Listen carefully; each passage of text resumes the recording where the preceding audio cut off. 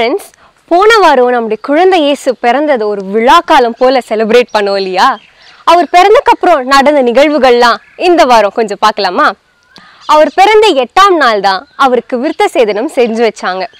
ஆனால் யோசேப்பு விருத்த சேதனம் செய்ய அவங்க இன்னும் பெத்லகேம்ல அந்த மாட்டு தொழுவத்தில் தான் இருக்கிறாங்க. அப்படி இருக்கிற டைமில் அவருக்கு விருத்த சேதனம் செய்கிறோமே நினச்சி ரொம்பவே கஷ்டப்பட்டார். ஆனால் யோசேப்புக்கு வர துன்பங்கள் ஒவ்வொன்றுத்துக்கும் கடவுள் அவருக்கு ஆறுதலாகவும் பலனாகவும் இருந்தாங்க. எப்படி தானே கேட்குறீங்க யோசேப்பு தூங்குறப்போ அவரோட கனவுல மூன்று ராஜாக்கள் வருவதை அவர் வந்து காட்சியாக காண்றாரு. அவரு ஏதோ ராஜாக்கள் வரப்போறாரு.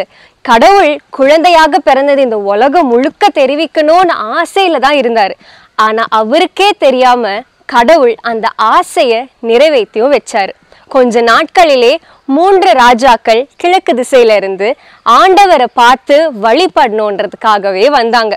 அவங்க வந்ததும் இல்லாம மரியாதையும் யோசேப்பையும் போற்றி புகழ்ந்து ஆண்டவரை துதிச்சு அவங்களுக்கு பொன்னும் சாம்பிராணியும் வெள்ளை போலமும் பரிசாக கொடுத்துட்டு கிளம்புனாங்க. இதெல்லாம் கண்டு யோசேப்பு ரொம்பவும் பேருவகை அடைந்து கடவுளுடைய அற்புதங்களுக்கும் காட்சிகளுக்கும் அவ்வளோ நன்றி சொன்னாராம். இந்த பொண்ணையும் பொருளையும் வச்சுட்டு யோசேப்பு செலவிடுவாருன்னு நினைக்கிறீங்களா? அவர் என்ன பண்ணாருன்றதை பார்க்கணுமா? அடுத்த வாரம் பார்க்கலாம். நன்றி.